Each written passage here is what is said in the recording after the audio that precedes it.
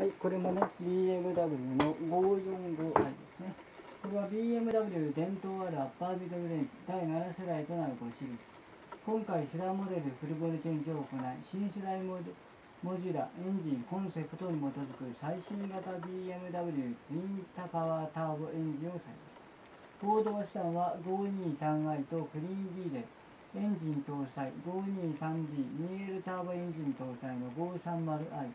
3A の 540i、540i デラプラグインハイブリッドシステム搭載の 530e ラグジュアリーハイパフォーマンス、530eN スポーツハイパフォーマンス、電動モーターを組み合わせフルハイブリッドシステム搭載のアクティブハイブリッド5、5動車は 2L 直列4気筒 BMW ツインパワーターボエンジン搭載の 528i グランツーリスム直列8気筒エンジン搭載の 550i クランツーリスムツーリングワゴンには 523i ツーリング。528i ツーリング。535i ツーリング。4W モデルは 535i デラックスツーリング。クリーンディーゼル。エンジン搭載の 523D ツーリング。を設定それぞれ、ね、ラグジュアリー。M スポーツ用限定モデルとしてはえー、それはセダン、ツーリングの 523i、523D の M スポーツを指定し、ザ・ピーク限定260台と523リーズでセグリティエレーションバロン限定2車ぐらいを設定。エクステリアデザインは伸びやかなエンジンフードショートオーバーパンククループのような綺麗なルーフラインロングホイールベースサイドに走る2番のキャラクターラインだろう BMW ならではの美しさを表現。フロントデザインにおいては BMW 特有のミロニーグルーとヘッドライトをつなげることによりワイド感スポーティーさを表現。リアデザインにおいては最新式の LED ライトバーを BMW 特有の L 字型を補助にして採用。インテリアはデザインのコックピット重賞を運転する側に向けて搭載し、スタイリッシュなフォルムのセンターコンソールがドライバー重視の車作りを強く印象付けていますね。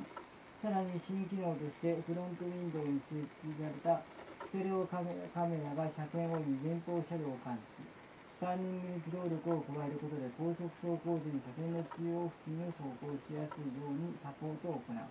スターリングレーンコントロールアシスト。ボディサイズ前後左右に設置機能が高まった場合には、スターリング操作に介入し、衝突を回避するアクティブサイドコリディションプロジェクションなど、部品部品部分自動運転を可能とした革命的な運転支援システムを採用して、えー、528i、530i、535i、540i、550i には左右ハンドルの選択が可能で、えー、535i デアツーリングは左ハンドル、その他は右ハンドルの設定ということでございます。まあ、この方の BMW ちょっと目がこうぐぐっとこうつり上がった感じがね、まあ、特徴なんですが、えー、これが一番お安いのはまあ高いんですが、523i が599円。一番高いやつで、えー、540iXD RIVEN スポーツになって1017万円です。まあでもそれでもリッターとしては22.5から21.5まで走るというね。まあこのくらいのでかい、えー、高超高級車の中では優秀な燃費を叩き出してますね。えー、12.5からも21.5まで叩き出してるってことはすごい、まあ、燃費が良くなったね、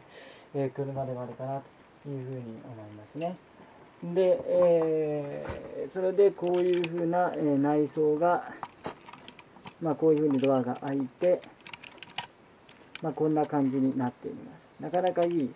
感じですね。で、これも、えー、シクのね、えー、ミニカーになっていまして、まあ、BMW の感じをね、その独特なあの BMW っていう感じをよく、えー、表されてるなという感じで、これも好きな形の1台ではありますね。どうもありがとうございました。